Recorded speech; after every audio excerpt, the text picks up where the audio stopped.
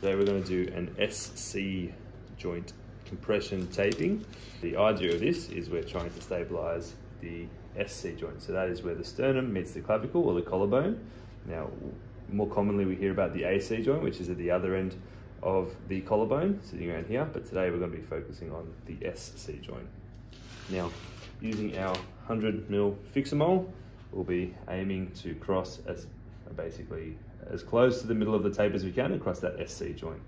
So finishing just across the pec, across the SC joint. Usually get them to lift their head up and look to the left for this time. Good, just so the skin's on stretch and we don't end up. Good, and then now relax your head back to the middle. Good.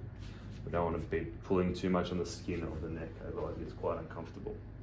Now using our 38 or 50 mil rigid tape, we're going to add some compression strips over the SC joint. That's why it's important to get as close to the middle of the tape so we can get nice purchase on that SC joint. With this, we want to just add some compression and lay that over the shoulder at the top. Repeat that as many times as you would like to add some compression. Sometimes we'll even put a, a foam pad over there if they've got a really, really uncomfortable one for contact, especially in our collision sports like rugby league, rugby union, AFL, or even our wrestling sports sometimes, which is where we often see these injuries is more in contact or landing based sports.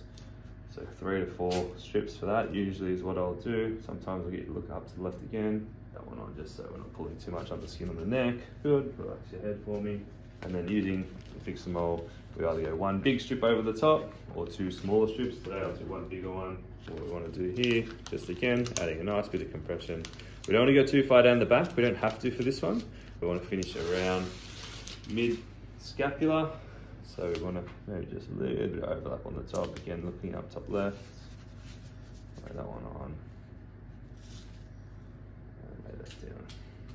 That one will just overlap just over the scapula. Now just fix them all. Not too uncomfortable. I should still have decent shoulder range. Lifting your arm up for me. Beautiful, and back down.